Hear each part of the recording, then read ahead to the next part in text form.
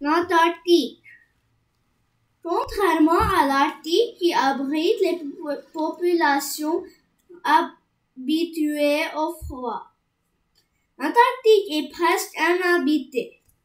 Seuls quelques scientifiques y séjournent pour mener des recherches sur l'évolution du climat.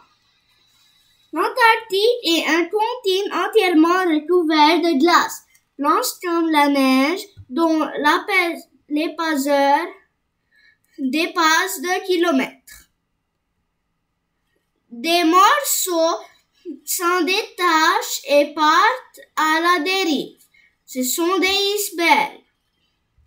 Iceberg est un mot norvégien qui signifie montagne de glace.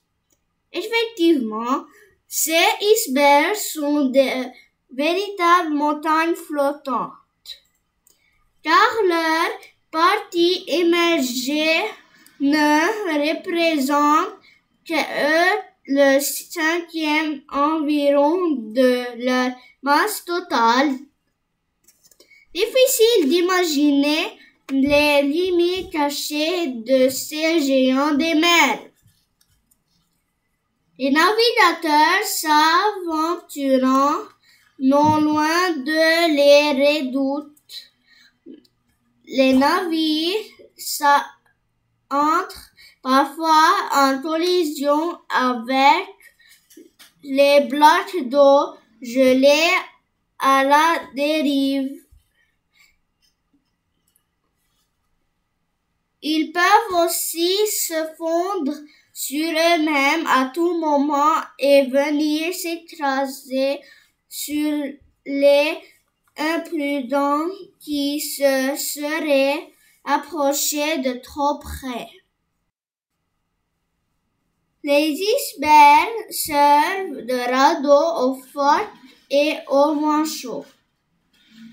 On y voit parfois des taches noires qui se détachent sur le blanc de la glace.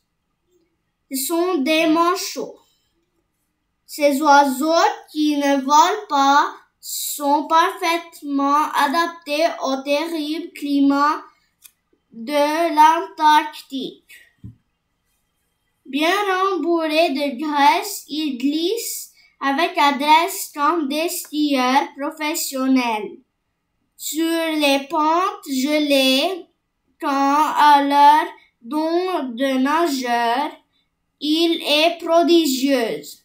Il capture les poissons jusqu'à une profondeur de 300 mètres.